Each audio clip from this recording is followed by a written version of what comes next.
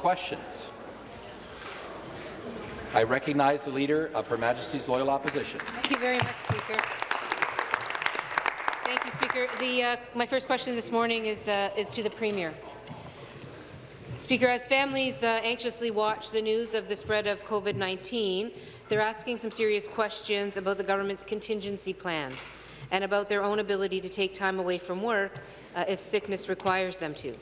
The government has made it clear that they will not take uh, the advice of doctors, nurses and health professionals who have implored them to reinstate paid sick days. Uh, what measures is the government ready to put in place to help people and their employers if they're unable to work due to illness or quarantine? The Premier. Thank, thank, you, Mr. Speaker. I can tell you the health and the well-being of Ontarians is our government's number one priority. Our government has taken a transparent approach, regular updating to the media and the people of Ontario, Mr. Speaker, via the media and online. Our government is acting to ensure readiness and to respond to a range of outbreak scenarios. We're expanding our testing capacity and establishing dedicated assessment centres to ease pressures on hospitals.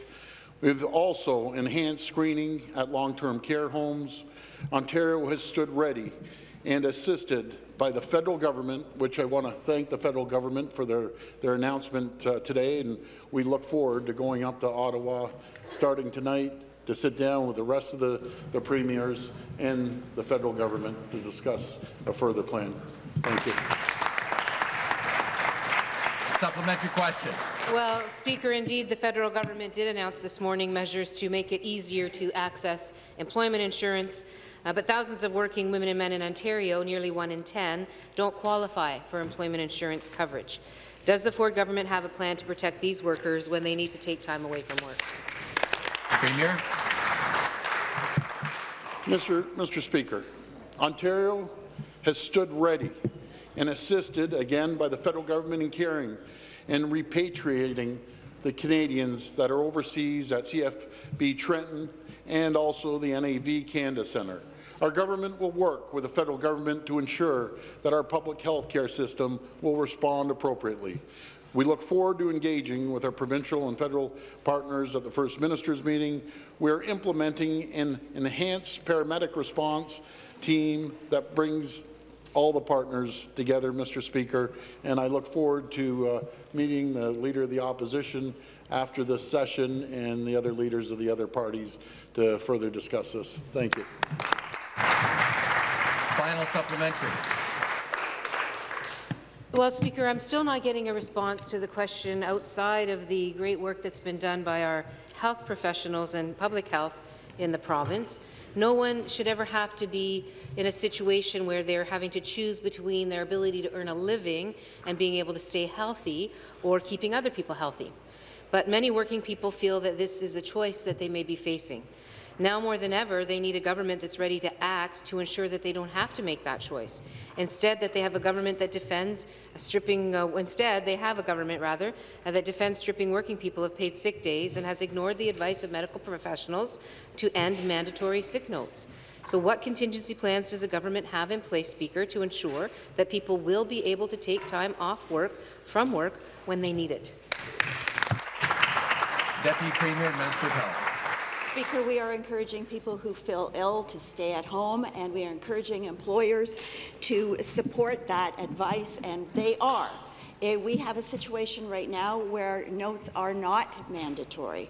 They can be asked for in some circumstances by employers, but employers in Ontario right now understand that we are dealing with a very unusual set of circumstances, and they're responding accordingly. Employers now have the option to require reasonable proof of the circumstances that entitle that employee to leave. That is what is happening right now. People are being responsible, both employees and employers. We feel that no other steps are required at this point because people are acting in the way that they should under these circumstances where everyone is required to play their part and to, and to serve their role in making sure that they protect themselves and they protect the, their co-workers and the people around them. The next question, the Leader of the Opposition. Thank you, Speaker. My next question is to the Premier, but, but we feel that the government should be taking the advice of health professionals who say get rid of this uh, requirement for sick notes com- completely, don't make it optional, and make sure that people have paid sick days to rely on. That's what the professionals are, are suggesting that this government do, and we would agree with that advice, Speaker. I wish the government agreed with that advice. But this week, the Ford government has repeatedly stated that they have contingency plans in place to deal with everything from increased demands on our health system to disruptions to business, the ability to deliver public services. Uh, will the government start laying out the details of their contingency plan, Speaker? Minister, Minister of Health. Yes, it- of course, uh, there is a meeting that has been established following question period with the Leader of the Official Opposition and the leaders of the other parties to provide in greater detail the enhanced measures that are being taken under the plan. We can't sit back and just assume that things will continue to be the way they are right now. We know that what's happening in other countries, it, it's the uh, COVID-19 is escalating. We are preparing for that. We don't assume that what we're dealing with now will stay the same. So we are looking at assessment centres, for example, having people to be able to, in a very short order, to be able to be diagnosed at home, with having the uh, support public health worker come to their home to be able to diagnose them. We are putting all of these measures in place. We're looking at large gatherings, what we should do about large gatherings. Should we um, put put protective measures in place and, and to prevent them from happening. We are looking at the entire um, possibility of events. We plan for the worst case scenario. Of course, we hope it doesn't happen, but if it does, we will be ready for it. The supplementary question. Well, Speaker, I'm certainly looking forward to this afternoon's meeting, uh, but I do believe that it's really important that the public uh, is provided with information. I think the public having information is paramount to reducing their fears and worries about what's happening here in our province. You know, one of the specific areas where people have concerns is in our hospital sector. As the Premier knows, hospitals across Ontario are routinely operating over 100 percent capacity.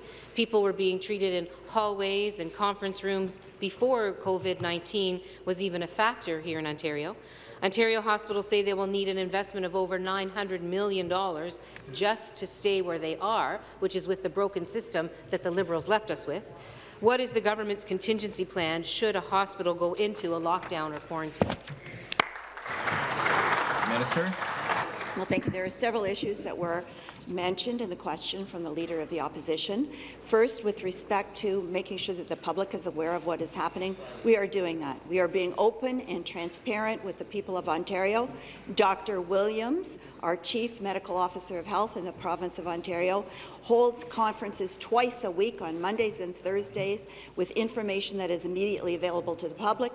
We are also updating our website, ontario.ca slash coronavirus, twice a day at 10.30 in the morning and 5.30 in the afternoon to give people the information they need on where we stand in Ontario with the number of coronavirus cases of COVID-19 and also the personal precautions that people can take. That is very important, that people are aware of what they need to do.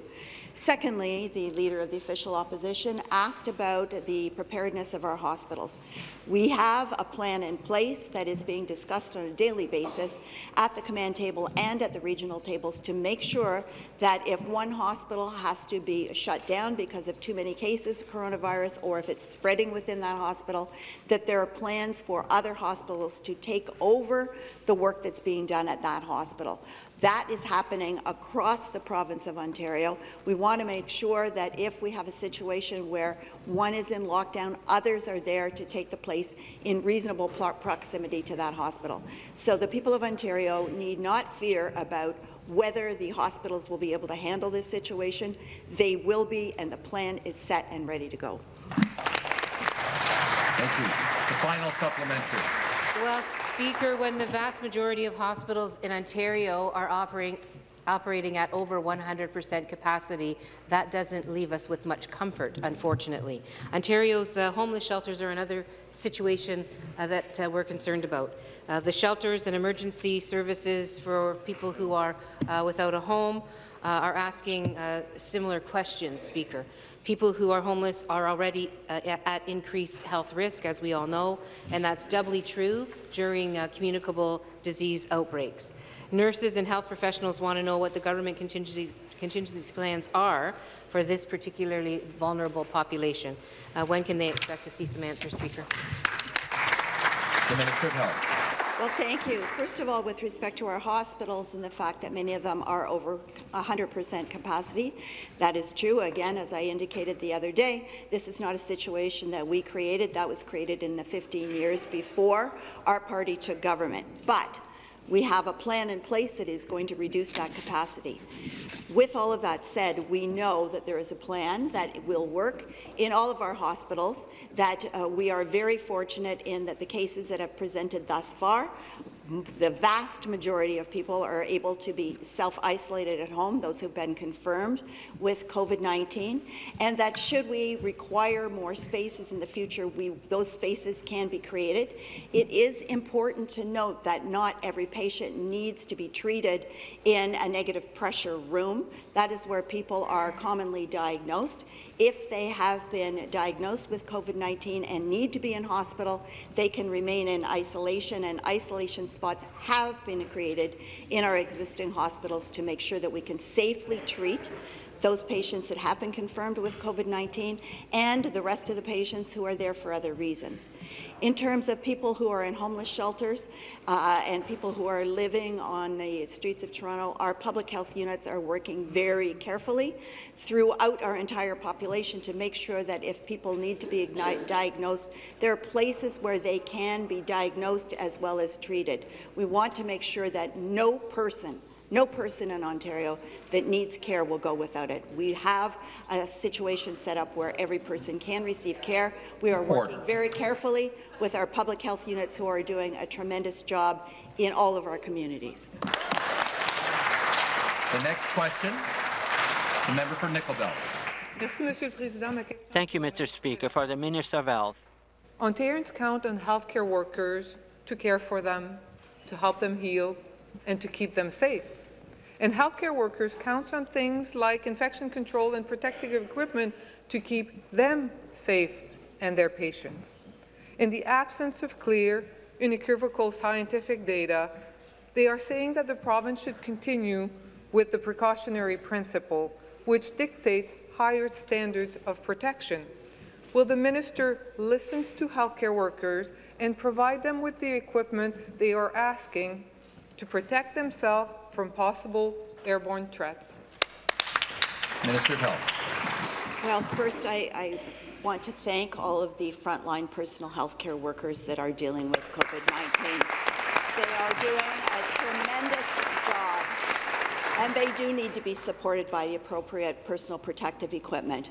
We have been following the advice that has been given to us by the medical and scientific community, and presently Ontario is a, has been an outlier vis-a-vis -vis other provinces and other countries in the sense that we have been assuming that there is airborne as well as droplet transmission of COVID-19. The medical evidence is telling us that it is not airborne, but it is droplet-borne protection, and therefore the personal protective equipment that is being recommended is uh, uh, what we are switching to now, and that is what we are going to be providing. We did hear from a, a group of uh, public health, community, and chief nurses executive colleagues. Uh, and we also heard from a number of leading experts in infectious diseases. And Speaker, I would like to read what they have sent to us.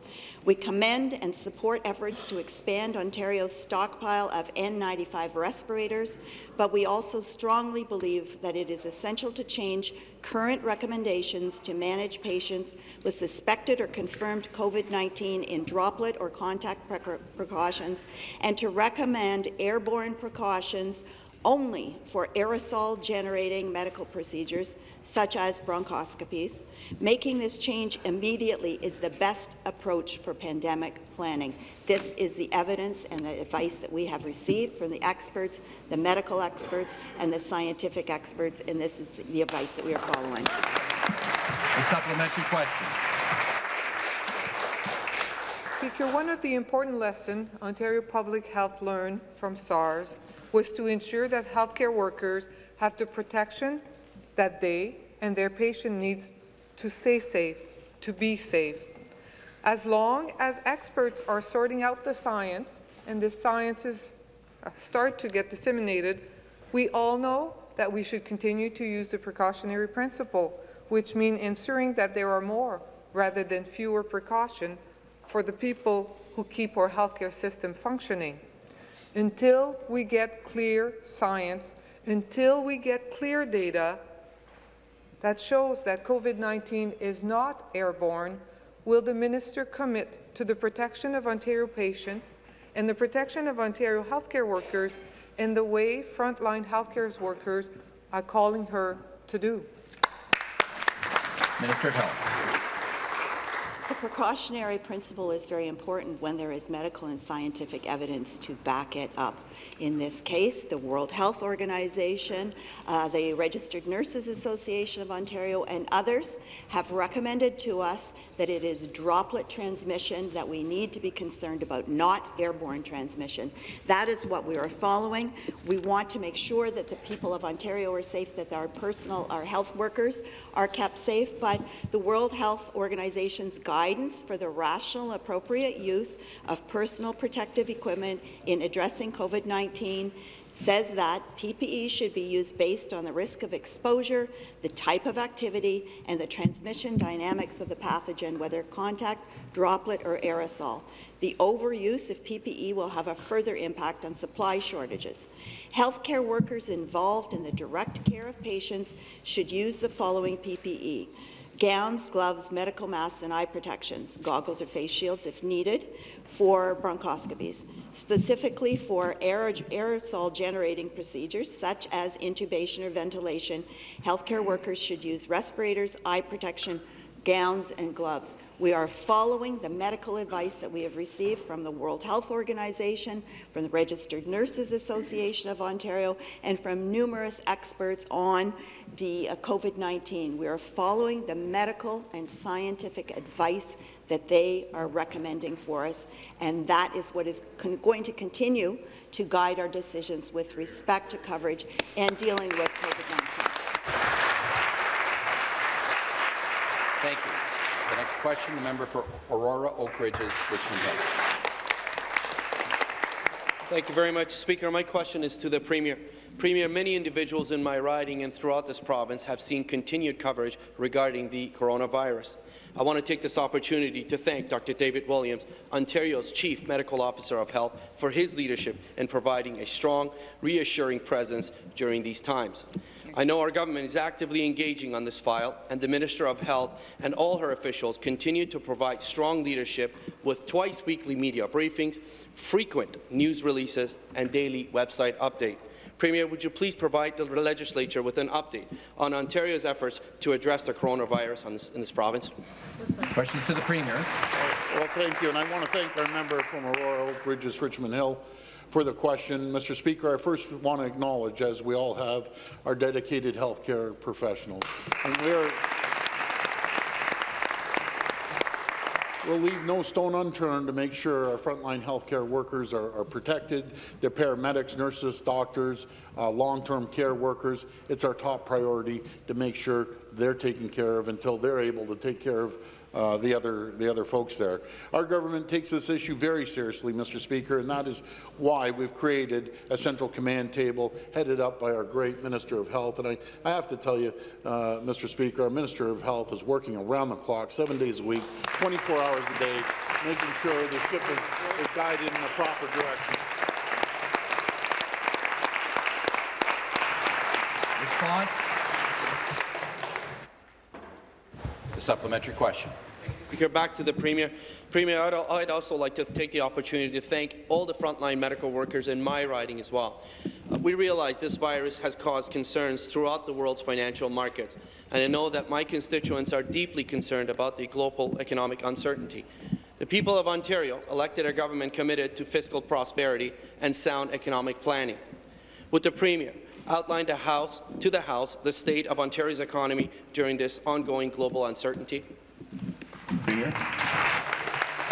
Again, I want to I want to thank the the member, uh, Mr. Speaker, but I can tell you we are committed to supporting and protecting the interest of all Ontarians. Full stop. We will do whatever it takes to make sure we continue on with the uh, the economy moving forward, as we've seen.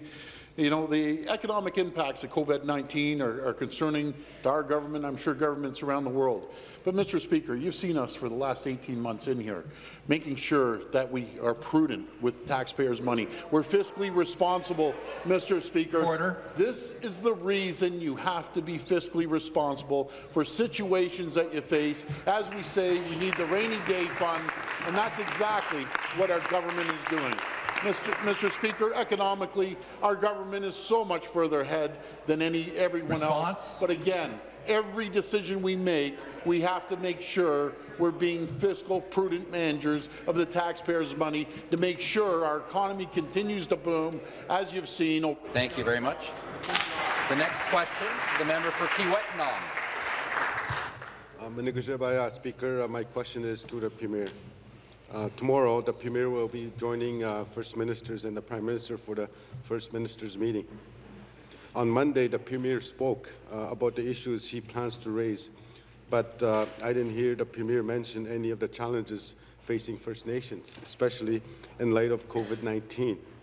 Will the Premier uh, use his, his opportunity in, uh, in Ottawa to address these issues with the Prime Minister?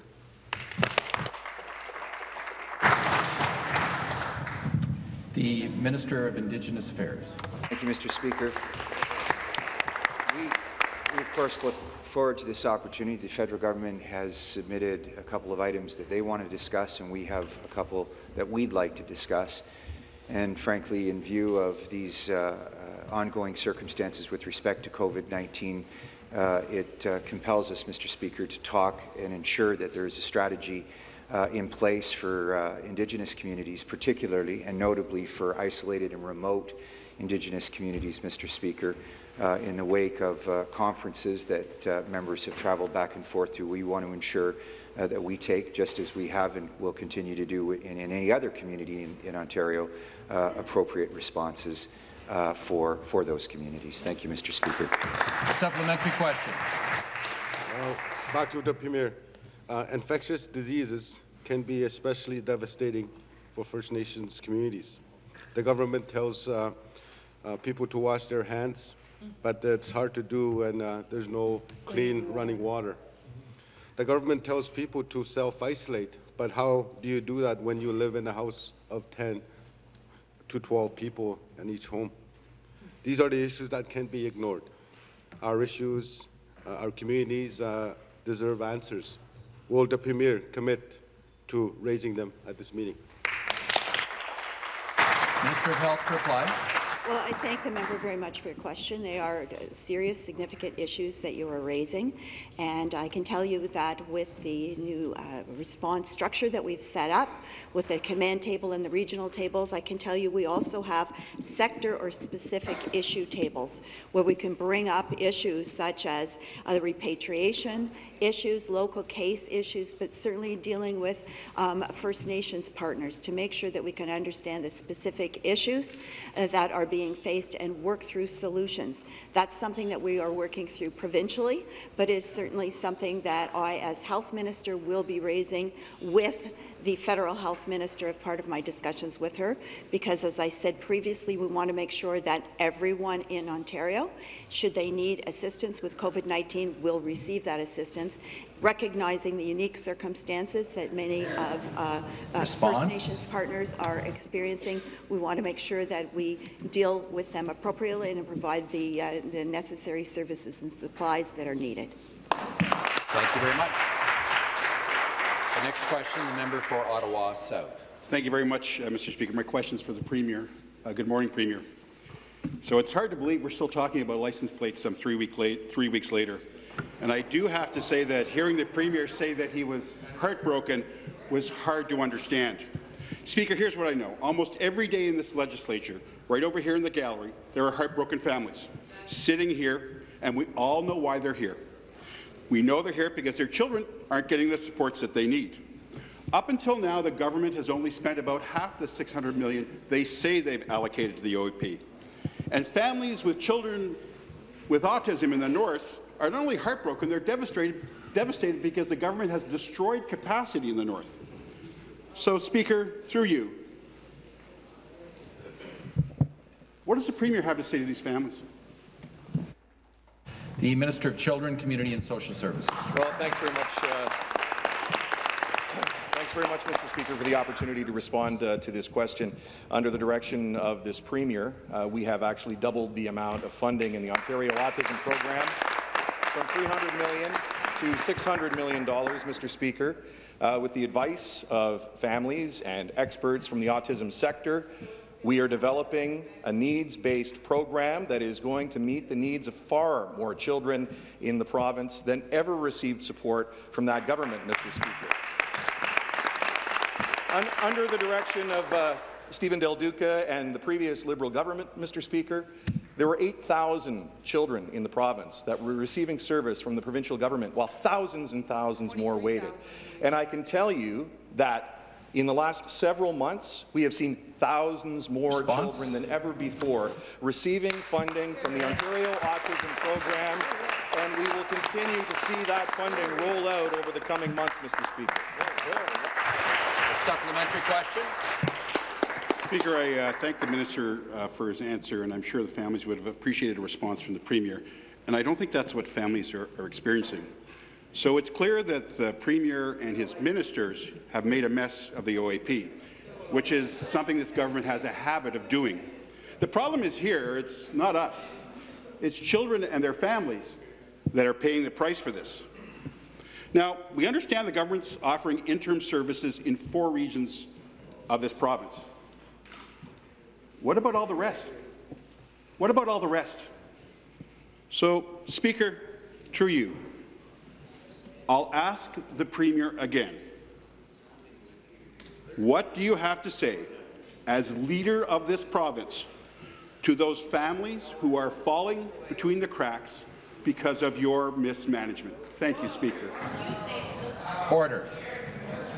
Premier to reply. Mr. Speaker, it's pretty rich of this, this member to come out when the first crisis that I faced as Premier was you bankrupt the system. You bankrupt the system. We're $100 million short. We had to put emergency funds to help families with autism. I met a lady the other day, came up to me out of the blue, and said, thank you for helping us. It's the first time we've seen funding. We've doubled, we have actually doubled the funding to $600 million as they sat back and ignored these families for years, for 15 years they were ignored. Thousands and thousands of families were struggling as they sat back and did absolutely nothing for these families, Mr. Speaker. We're taking care of these families. Order. We're putting $600 million in. People are getting their checks down, Response? Mr. Speaker, and they're 10 times better off than they were under the Liberal government.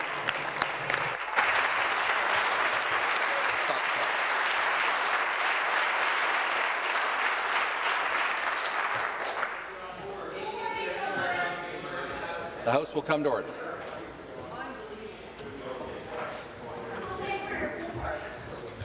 Order.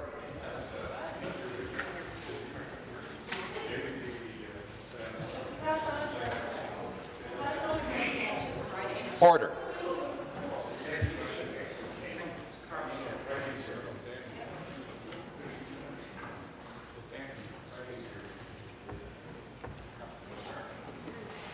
Start the clock. Next question, the member for Markham Unionville. Thank you, Mr. Speaker. My question is for the Minister of Health. We have heard from many of our constituents about the risk of COVID-19. It's apparent that every member of this House is interested in making sure the people of Ontario are safe from this virus. That is why an open, transparent approach has been so important. I have directed my constituents to ontario.ca coronavirus so that they can get the most up-to-date, accurate information and the fact sheet in a variety of languages. Ontario is continuing to monitor the situation closely as we prepare an enhanced response. Speaker, I think it is important that we continue to make clear the actions that are being taken in response to COVID-19. Can the minister tell this House about the readiness of our province? Thank you, Mr. Speaker. Questions to the Minister of Health.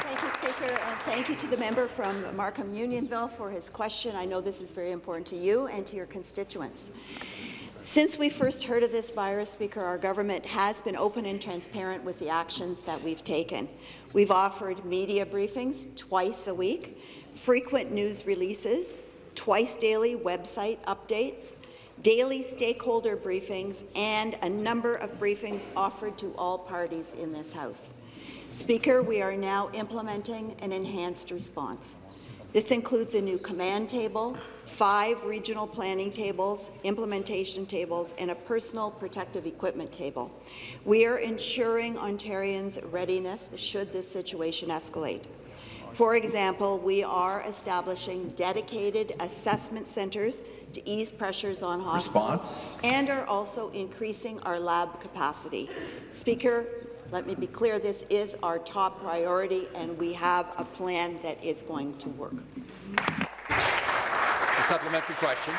Thank you, Speaker, and thank you to the Minister of Health for your response. To Minister of Finance, it is reassuring to hear that our government continues to follow this situation closely.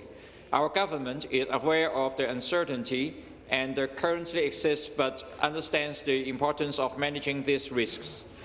Could the Minister of Finance please explain what our government is doing to ensure we are prepared to respond to the economic impacts as this situation continues to unfold? Questions to the Minister of Finance.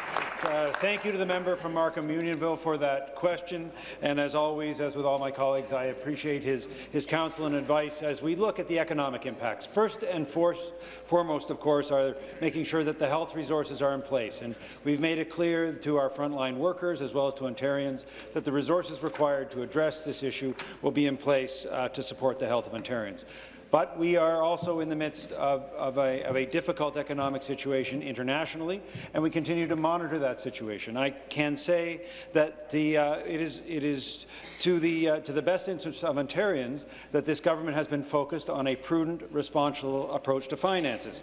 As I mentioned in this legislature last week, the Parliamentary Budget Office, an independent office of the federal government, has indicated so for the first time, Mr. Speaker, since they have been monitoring the fiscal stability Response? of this province, Ontario is on a stable financial footing. This will serve us well as we deal with the uncertainties ahead, and your constituents and the rest of Ontarians can rely on us to manage the books financially in a. In Thank you very much. The next question, the Leader of the Official Opposition. Thank you, Speaker. My question is for the Premier. This morning I announced that I'll be introducing a private member's bill that, if passed, would protect the independence of the Ontario Human Rights Commission. Uh, there's a need, Mr. Speaker, because as we've seen with the Premier's attempt to appoint his buddy Ron Taverner to the top job in the OPP, this government cannot stop meddling in the independent, independent appointments process. Despite over 300 applicants or applications to the Commission made through the proper uh, process and agreed upon channels, uh, this Premier went ahead and appointed his own picks for commissioners, including one who the Integrity Commissioner found would often be in a conflict of interest and therefore unable to do the job much of the time. Does the Premier believe he should be meddling in the Ontario Human Rights Commission? The Attorney General to reply. Thank you, Mr. Speaker. I look forward to seeing the bill that she announced at 9:45 this morning, and the off chance there's something constructive in it, I'm looking forward to it, Mr. Speaker.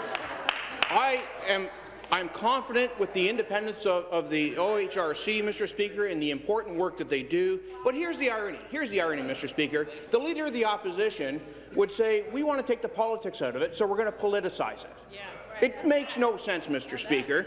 Now, Mr. Arsenault's credentials are unparalleled. They are unparalleled. He is exactly the kind of person that you would want on the commission. He has 20 years of frontline experience. He was an Aboriginal liaison officer, Mr. Speaker. He is so qualified. He was the first ever holder Order. of the community engagement officer, Mr. Speaker. And he is so, it's unbelievable. Order. But we know that the opposition have no use for our frontline police officers. They don't respect them, they don't want their input, and they discount everything Order. they have to say, Mr. Speaker.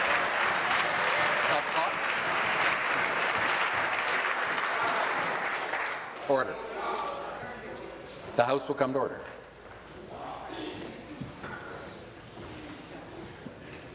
Start the clock. Supplementary question.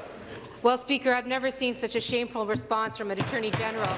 We're talking about principles that were established in the 1990s by the United Nations, Speaker, when it comes to the independence of these very kinds of bodies. So shame on the Attorney General. Shame on a member uh, of this cabinet to behave in such a, an undignified way when this is an extremely, extremely important principle that we're trying to ensure is upheld in the province of Ontario. What my bill does is take the Memorandum of Understanding, which provides a clear understanding of how the appointment process for the Ontario Human Rights Commission should work, the very MOU that this Attorney General refuses to sign, and actually enshrines it into law. I'd say that's a huge improvement. The Premier must stop trying to put his thumb on the scale to influence the appointments process, Speaker. It has to stop. So will the Premier do the right thing, the thing that is a, a, is a a standard around the world, enshrined in the UN uh, principles uh, uh, that were uh, undertaken in Question. Paris. Will he do the right thing, recognize the need for the Human Rights Commission to actually operate without government interference and support this extremely important bill?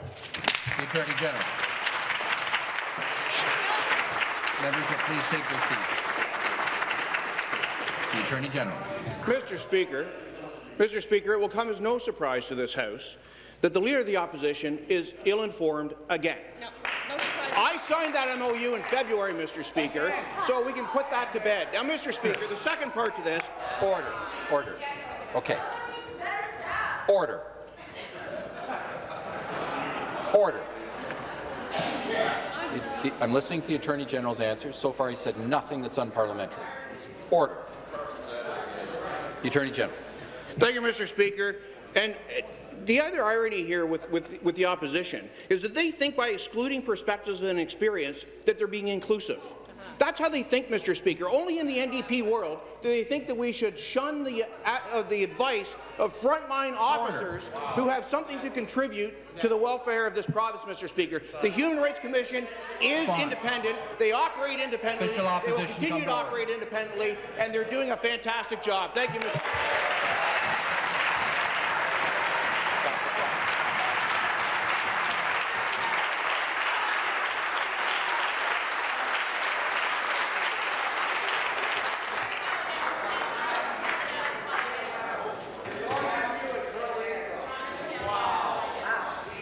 Order.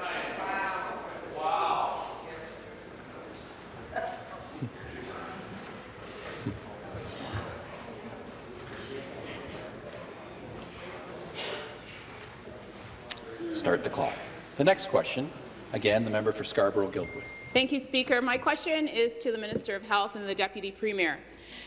Minister, grocery shelves are losing stock of hand sanitizers, and I believe that people are following yours and others' advice to wash their hands with soap and water.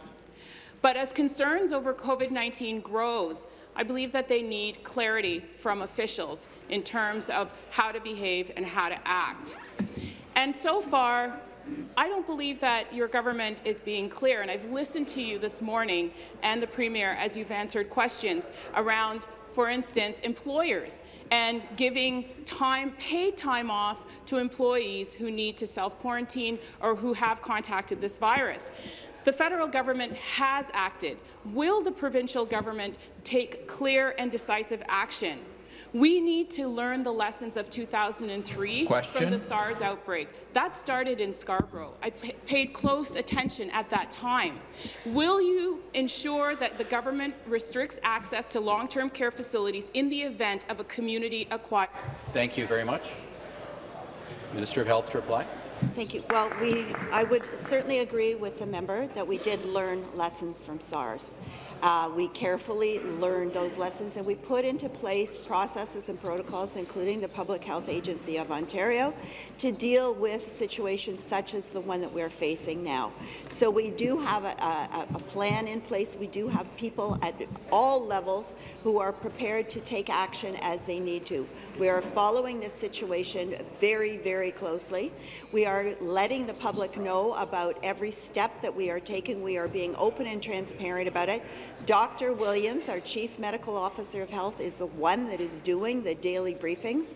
I believe that is very important so the people of Ontario hear directly from him not through me, not through what might some might perceive to be a political lens. They are hearing directly Response. from him about the steps that they need to take. I will uh, expand further in my supplemental. Thank you, Speaker.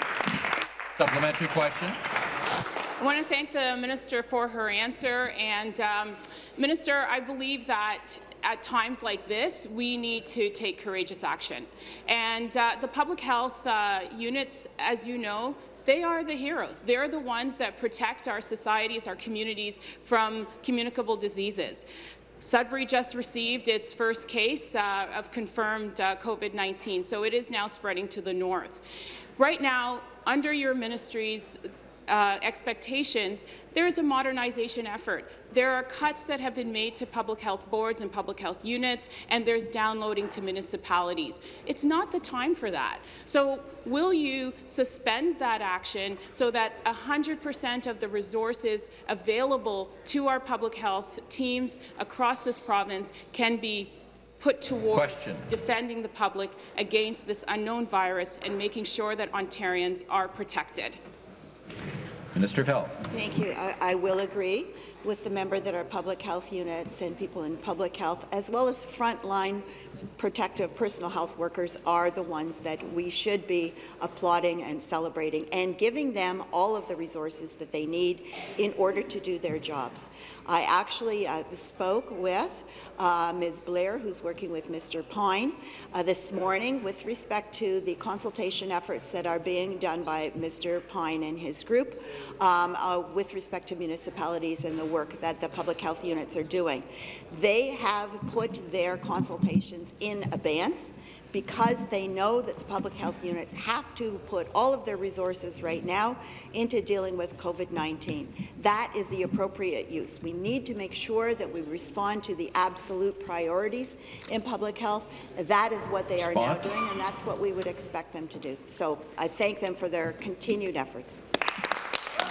Next question, the member for Mississauga East Cooksville. Thank you very much, Mr. Speaker. My question is for the Minister of Children and Women's Issues. Speaker, the members involved in developing the anti-human trafficking strategy have spoken of consultations, roundtables, and insights they have received from those on the front lines who have devoted their time to support the survivors of trafficking. We know that there is no better measure of success than of feedback from those who work directly on such challenging issues, and as such, we understand how impactful their opinions are. Speaker, can the minister please tell the House what kind of response they have received from these frontline care providers following the launch of the anti-human trafficking strategy? Thank you. The Associate Minister of Children and Women's Issues. Thank you, Mr. Speaker, and thank you to the member from Mississauga, East Cooksville, for that question. Our government worked to ensure that our new anti-human trafficking strategy was designed with the input of those who spend every day on the front lines, who help us create a strategy that would truly serve the survivors of this heinous crime. Speaker, following our announcement, we were encouraged by the tremendously positive responses from these community leaders across Ontario. These are people like Karen Kennedy, President and CEO of Boost Child and Youth Advocacy Centre, who said, and I quote, I commend the provincial government for recognizing the serious issue of trafficking of girls and women in Ontario. They are taking bold steps to implement a comprehensive strategy that supports and enhances the work of community stakeholders, law enforcement, and criminal justice across sectors to prevent and hopefully bring an end to this terrible crime. We have Response? listened to stakeholders and brought in a real plan that will make a difference. The supplementary question. Thank you, uh, Speaker, and thank you to the Minister for that response. Speaker, human trafficking is a completely unacceptable and disgusting crime, and the victims deserve the appropriate support to heal. Speaker, a large part of the anti new, uh, new anti-human trafficking strategy is focused on First Nations, Métis, and Inuit communities. We all know too well that Indigenous women and girls are at a higher risk of being assaulted and trafficked. We also know that they, they need Indigenous-led and Indigenous-specific supports to help them heal from the trauma of being sex trafficked. This requires working with Indigenous partners and organizations to provide the most appropriate supports. Can the minister explain how this strategy addresses Question. the specific needs of Indigenous communities across Ontario? Minister. Thank you, Mr. Speaker, and thank you to the member for the question. It has been an honour to be been able to speak with experts from across Ontario who work firsthand with survivors of trafficking, and this includes Indigenous partners such as Chiefs of Ontario and Native Friendship Centres and more. They have worked tirelessly to support victims across Ontario, and we are determined to ensure that the strategies we implement not only support their work, but are well aligned with the principles of trauma-informed, culturally appropriate care. We made a focus to have not just Indigenous-informed, but Indigenous-led supports that met the needs of the organizations providing service, but more importantly, to the survivors who are healing from their trauma. I want to personally thank the Ontario Native Women's Association for their advocacy and work on this with our government, and to thank you to Coraline McGuire Cyrette for her passion on this issue. Response? I am truly honoured to have your support as we work to fight against the exploitation of Ontario's women and girls, and we intend to work with you every step of the way to ensure that those who are victimized in trafficking have the care. The next question, the member for Brampton Centre. Thank you. Good morning, Speaker. My question is for the Premier. Today we are joined by Rakesh Tiwari, who has been waiting nearly a decade for justice. His son Prashant passed away at Brampton Civic Hospital in 2014 while he was on a 24-hour suicide watch. He was left unsupervised for nearly three hours, a clear break from protocol. Speaker, I knew Prashant personally. He was my brother's closest friend, a vibrant young man who reached out to the system for help. And the mental health system failed him, as it continues to fail so many young people across this province. The Tiwari family has been seeking justice and hoping for answers to prevent future tragedies here in our hospitals but have been unable to get a court date due to a backlog of cases in our courthouse in Brampton and across the GTA. Does the Premier understand what it means to families like Prashant's to wait for years and years to access justice? The Attorney General to reply. Thank you, Mr. Speaker, and thank you to the member from, from Brampton Centre for, for highlighting this, uh, this challenge. And, and the member from Mississauga Centre had previously brought it to my attention as well. Uh, it, it, it, is, it is a troubling situation, Mr. Speaker, and, and obviously I can't comment on individual situations, but I can comment on, on the state of, state of the courts as we inherited them from, from the previous government. It, it, is a, it is a terrible situation, and we are working hard every day to fix it. And the Brampton Courthouse is a good example, where we're, we're close to finishing uh, the, the construction to open up more courtrooms, to create more capacity. I talk every day with justice stakeholders, and I'm meeting with the uh, Chief Justice again tomorrow to talk about a variety of issues just like this, because victims uh, need to, and families and, and, those who are impacted by our system need to get the service that they deserve, Mr. Speaker, and, and I look forward to, to speaking more with Response. you in the supplementary. Thank you. The supplementary, the member for Brampton East. Back to the Premier. Nearly seven years ago, Prashant Tiwari was taken from us. He was under suicide watch at Brampton Civic when he took his life. He was only 20 years old. For nearly seven years, his family has been asking, how could this happen? How could he take his life when he was at a hospital, when he was supposed to be safe and protected? To get the answers and justice they, did they deserve, the Prashant family has taken their matter to court. Prashant was my friend. He was a special young man. He was a, an amazing athlete, a passionate artist. He was wise beyond his years. All the family wants is to have their day in court. But because of the backlog in our justice system, there are literally no days available. They are waiting and waiting to no end. Prashant's family is here today in the Assembly. They deserve to have their case heard. Premier, justice delayed is justice denied. Will you act now to address the backlog in our justice system so that their family and the many other families that are waiting don't have to wait any longer? The Attorney General. Mr. Speaker, I'd like to thank the member for the, for the question and, and the comment and the background. Uh, it is true that justice delayed is justice denied. It is something that, that troubles me. Uh, it's something that we've been working on uh, from the moment we got elected, Mr. Speaker. Um, and it's, it's something we know impacts every member of society. Uh, especially a situation like this, a very, uh, very tragic situation, and, and we know that we can do better. We know that the system needs to be modernized, needs to be updated. We need more capacity. We need to use the resources we have properly. Uh, I'm open to any ideas uh, that, that members may have, uh, the public may have. We're working every day to make the system work better uh, and, and fix what was left behind to just decay, quite frankly. Uh, and it's shameful that the previous government uh, let that happen. Response. Thank you, Mr. Speaker.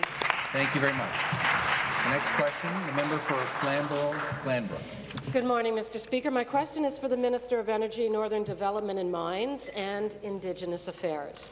Mr. Speaker, the film and television industry knows the North is a prime destination for productions making significant contributions to Ontario's economy. We are increasingly recognized as a destination of choice because we have the infrastructure needed for high-quality film and television productions. Can the minister tell us about the significant investment he made in the Sudbury film industry just last week?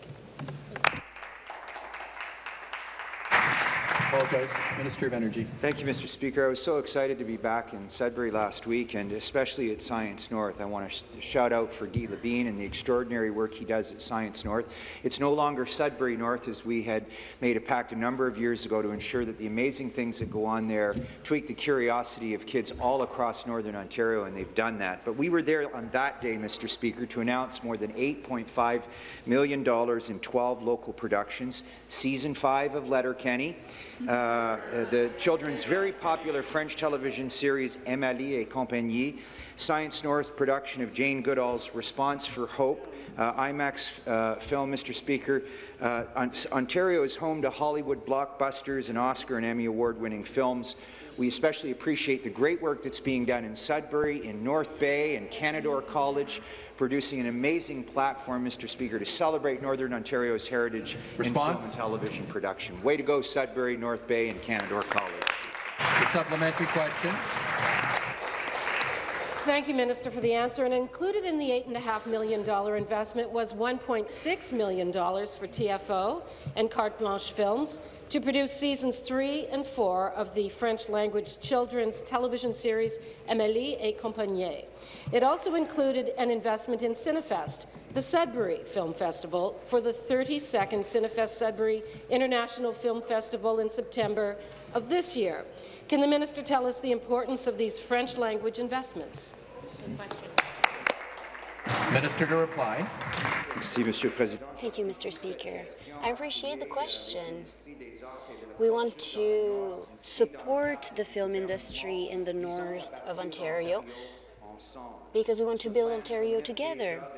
This plan allows us to create more jobs that are well paid and ends with production and post-production in the movies and TV shows.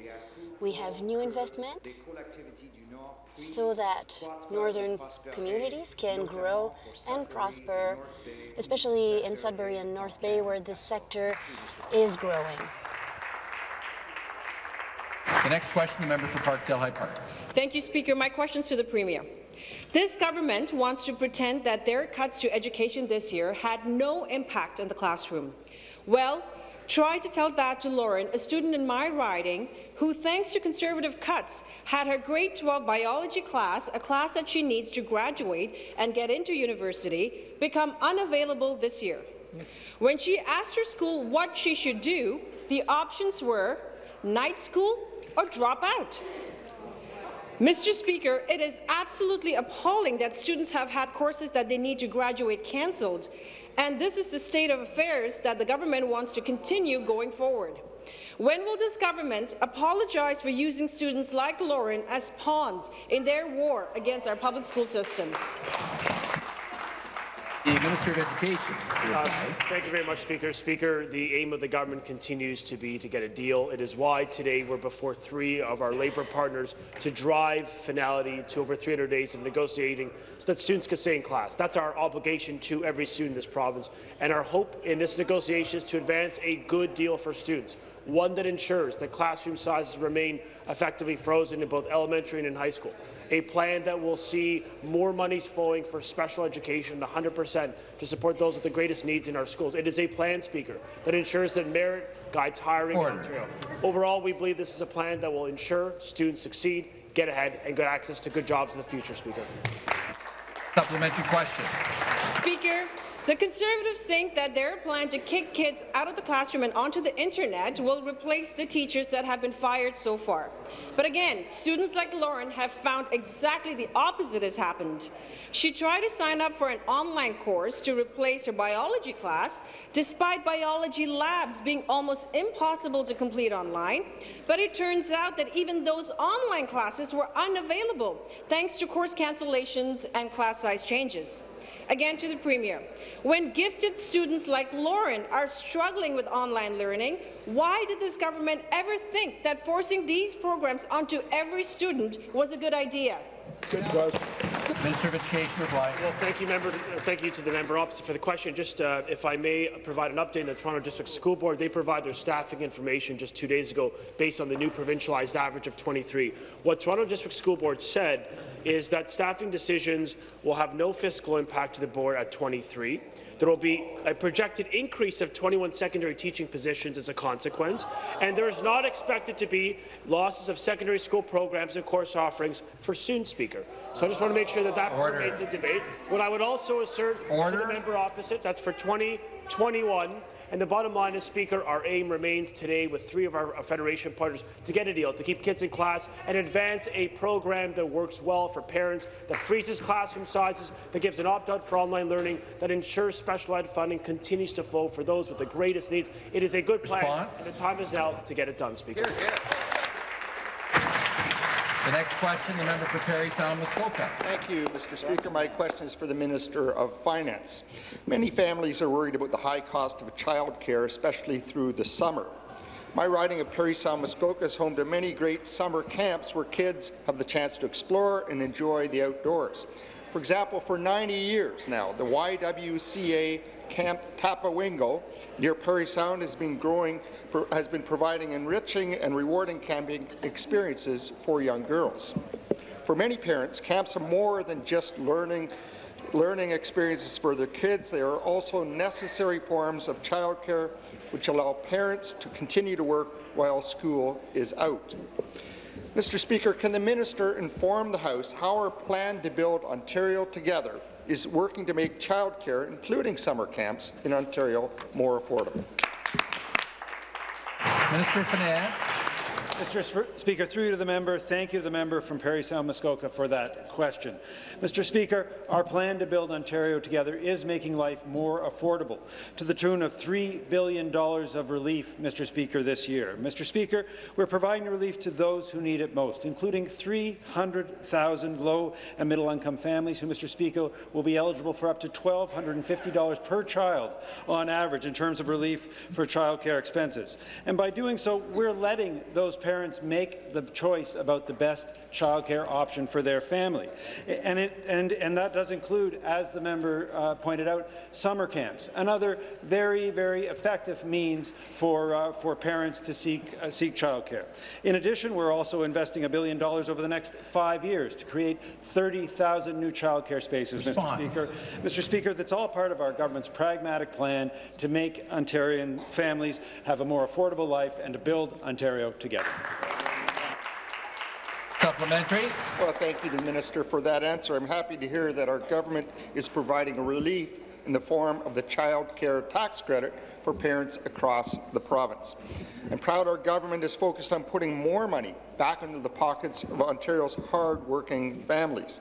I'm also pleased to hear that summer camp costs are eligible for the CARE tax credit.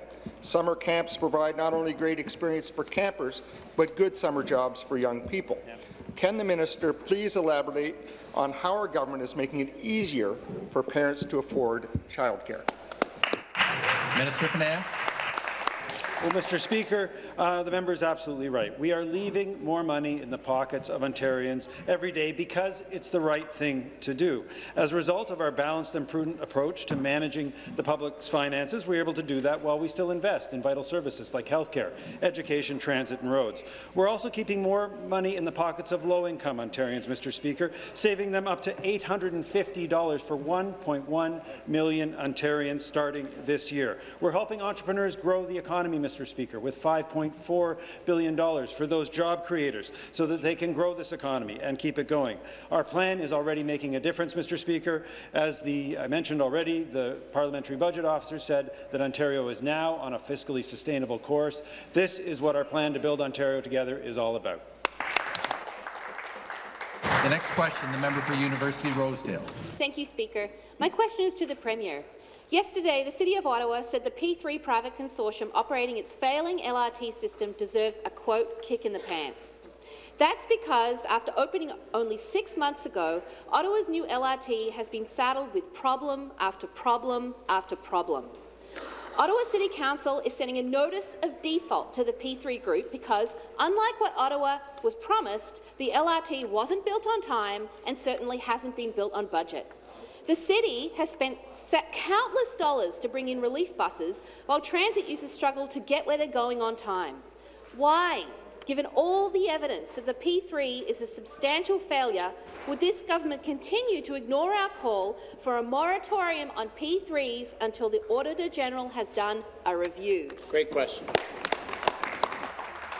respond on behalf of the government, the Minister of Infrastructure. Well, well, thank you, Mr. Speaker, and I thank the member opposite for the question. You know, as I've said in the legislature many times, Ontario is making the largest investment in infrastructure that has ever occurred before, $144 billion over 10 years, Mr. Speaker. You know, using uh, P3s enable us to build the critical infrastructure that our municipalities and everyone in our province wants, Mr. Speaker. I've said before, since 2005, Infrastructure Ontario has built uh, 125 projects worth over 100 billion dollars, Mr. Speaker. So I say to the member opposite, does she not want roads? Does she not want transit? Does she not want schools? Does she not want correctional facilities? Does she not want justice? Response? Does she not want subways built, Mr. Speaker? Because we're about building them.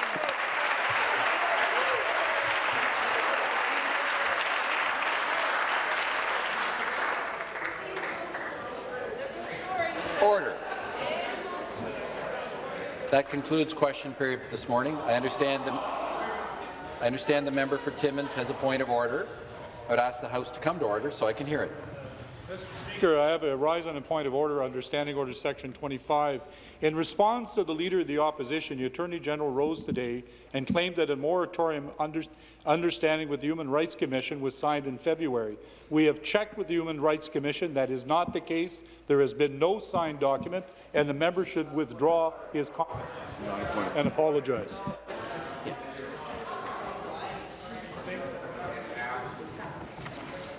Could I please have an opportunity to respond? It's not a valid point of order in this case. You have another point of order? Second point of order, but I know I can't challenge you, but we'll leave it at that at this point. I will. I, uh, I stand, uh, Mr. Speaker, in regards to Standing Order 22. Standing Order 22 says the use of laptops, tablets and smartphones is permitted in the chamber and committee rooms, provided they are operated silently do not impair, impair decorum. It goes on to say, and are not used as telephone recording devices, cameras or props. Earlier today, during question period, the member from Brantford Brant was recording members of my caucus or filming with his camera, with his camera or recording with his telephone what was going on on this side of the House. I ask you to bring this member under control and any delete whatever he's done over here. Order. Member for Timmins. The member for Timmins is absolutely correct in his contention that Standing Order 22, and I'll repeat it for all members, the use of laptops, tablets and smartphones is permitted in the chamber and committee rooms, provided they are operated silently, do not impair decorum, and are not used as a telephone, recording device, camera, or prop. That's a new standing order that the House has adopted.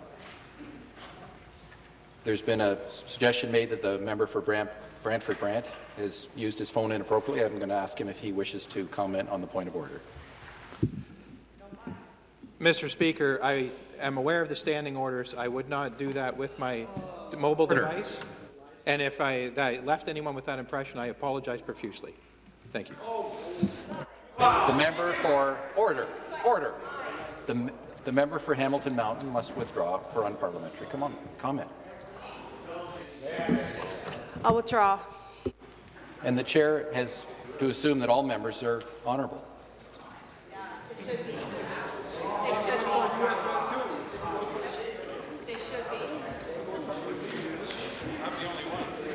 But I hope I've made myself abundantly clear, reading the standing order, and all members understand it for future reference.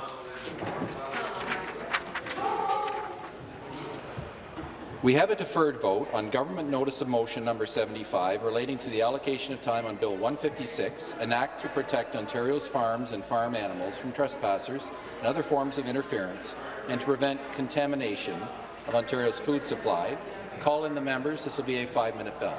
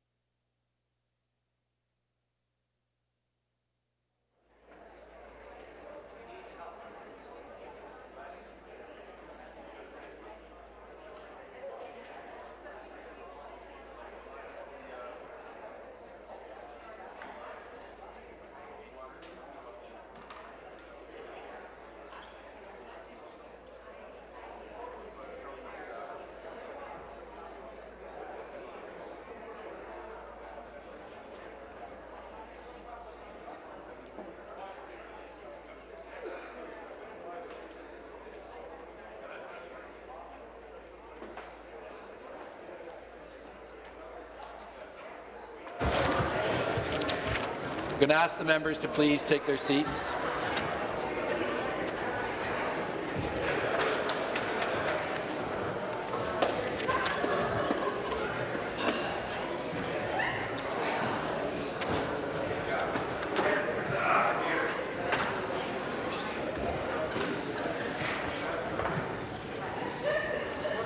Going to ask the members again to take their seats. On March 10th, 2020, Mr. Calandra moved Government Notice of Motion number 75 relating to allocation of time on Bill 156, an act to protect Ontario's farms and farm animals from trespassers and other forms of interference, and to prevent contamination of Ontario's food supply. All those in favour of the motion will please rise one at a time and be recognized by the clerk. Mr. Calandra. Mr. Calandra. Mr. Lecce. Mr. Lecce. Mr. Fedeli. Mr. Fedeli. Ms. Elliott. Ms. Elliott. Mr. Phillips. Mr. Phillips. Mr. Bethlenfalvy. Mr. Bethan Falvey. Mr. Clark. Mr. Clark. Mr. Smith Bay of Quinte. Mr. Smith Bay of Quinte. Mr. Hardeman. Mr. Hardeman. Mr. Yakabuski. Mr. Yakabuski. Ms. MacLeod. Ms. MacLeod. Mr. Tibollo. Mr. Tibollo. Ms. Dunlop. Ms. Dunlop. Mr. Romano. Mr. Romano. Mr. Walker. Mr. Walker. Ms. Thompson. Ms. Thompson. Mr. Downey. Mr. Downey. Ms. Fullerton. Ms. Fullerton. Ms. Jones. Ms. Jones. Mr. Sarkaria. Mr. Sarkaria. Ms. Scott. Ms. Scott. Mr. Rickford. Mr. Rickford. Ms. Surma. Ms. Surma. Mr. Coe. Mr. Coe. Mr. Bailey. Mr. Bailey. Mr. Pettapiece. Mr. Pettapiece. Mr. McDonell. Mr. McDonell. Mr. Cho Willowdale. Mr. Cho Willowdale. Mr. Gill. Mr. Gill. Ms. McKenna. Ms. McKenna. Mrs. Martin. Mrs. Martin. Mr. Parsa. Mr. Parsa. Ms. Skelly. Ms. Skelly. Mr. Nicholls. Mr. Nicholls. Mr. Piccini. Mr. Piccini. Mr. Pil- Miller, Parry Sound, Muskoka. Mr. Miller, Parry Sound, Muskoka. Mr. Barrett. Mr. Barrett. Mr. Oosterhoff. Mr. Oosterhoff. Mr. Thanigasalam. Mr. Thanigasalam. Ms. Fee. Fee. Ms. Fee. Mr. Baber. Mr. Baber. Ms. Hogarth. Ms. Hogarth. Mrs. Kusendova. Ms. Kusendova. Mrs. Tangri. Ms. Tangri. Mrs. Wai. Mrs. Wai. Mrs. Karahalios. Mrs. Karahalios. Ms. Park. Ms. Park. Mr. Cuzzetto. Mr. Mr. Pang. Mr. Pang. Ms. Triantafilopoulos. Mr. Triantafilopoulos. Mr. Crawford. Mr. Crawford. Mr. Kramp. Mr. Kramp. Mr. Rasheed. Mr. Rasheed. Mr. Mr. Mr. Smith, Peterborough Kawartha. Mr. Smith, Peterborough. Mr. Roberts. Mr. Roberts. Mr. Cook. Mr. Cook. Mr. Sandhu. Mr. Sandhu. Ms. Ghamari. Ms. Ghamari. Mr. Kanapathi. Mr. Kanapathi. Mr. Babikian. Mr. Babikian. Mr. Sabawy. Mr. Sabawy.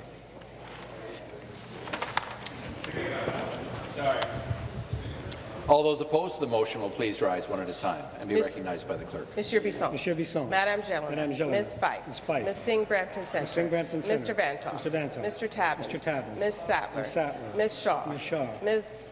Begum. Ms. Begum. Mr. Yarde. Mr. Yarde. Ms. Taylor. Ms. Taylor. Ms. Shermanta. Ms. Shermanta. Ms. Armstrong. Ms. Armstrong. Mr. Kernaghan. Mr. Kernaghan. Mr. West. Mr. West. Mrs. Stevens. Mrs. Stevens. Mr. Gates. Mr. Gates. Mrs. Gretzky. Mrs. Gretzky. Ms. French. Ms. French. Mr. Miller, Hamilton East Stony Creek. Mr. Miller, Hamilton East, Stony Creek. Mr. Singh, Brampton East. Mr. Singh, Brampton Ms. East. Andrews. Ms. Andrews. Mr. Hatfield. Mr. Hatfield. Ms. Karpoche. Ms. Karpoche. Ms. Burt. Mr. Burch. Mr. Burch. Ms. Berns McGown. Ms. Berns McGown. Mr. Arthur. Mr. Arthur. Ms. Bell. Ms. Bell. Mr. Glover. Mr. Glover. Ms. Morrison. Ms. Morrison. Mr. Rakocevic. Mr. Harden. Mr. Harden. Ms. Monteith Farrell. Monteith Farrell. Mr. Hassan. Mr. Hassan. Mr. Fraser. Mr. Fraser. Ms. Wynne. Ms. Wynne. Ms. Hunter. Ms. Hunter. Mr. Schreiner. Mr. Schreiner.